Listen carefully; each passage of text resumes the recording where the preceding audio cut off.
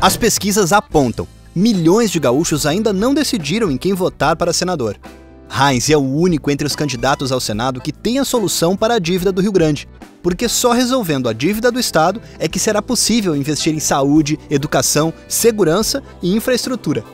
Se você quer ver o Rio Grande do Sul com força para acabar com a injusta dívida que estão nos cobrando e que impede os gaúchos de terem melhor qualidade de vida, pelo menos um senador você já escolheu. Luiz Carlos Reis, 111.